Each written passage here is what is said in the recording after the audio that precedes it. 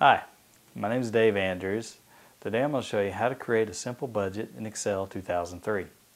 Let's open up Excel 2003. Clicking on the Start button. Let's go to All Programs, Microsoft Office. Let's open Excel 2003. Now what we're going to do is begin by creating some headers. Let's say in A1 we're going to say Item Name. That's going to be our budget item. Let's expand that a little bit. B1 is going to be budget amount. C will be amount spent. And we're going to call D uh, difference. So let's make these bold.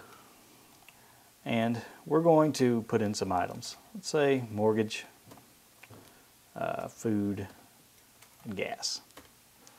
Now mortgage, we know how much that's going to be, let's say $1,500. And for food, oh, let's give a budget of $600. For gas, let's say $700. Now, on the amount spent, let's put in the amount that we uh, spent this month. And it, you would create this at the beginning of the month and kind of update it as the month goes along. The mortgage, we know we're going to spend $1,500. The food, let's say we actually spent 450. And gas, maybe we took a trip this month. We're going to say we spent 850. Now we're going to have Excel calculate the difference so we'll know what we're over budget in and what we're under budget in.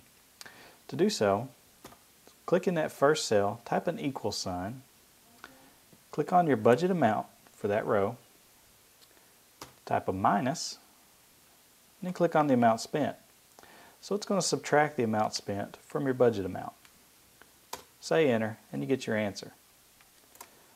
Let's copy that cell and paste it into the other cells.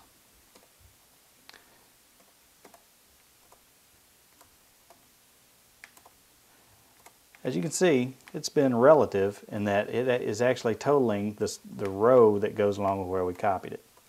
We can see what we're under budget in and what we're over budget in. It's that easy to create a budget. My name is Dave Andrews and I've just showed you how to create a simple budget using Excel 2003.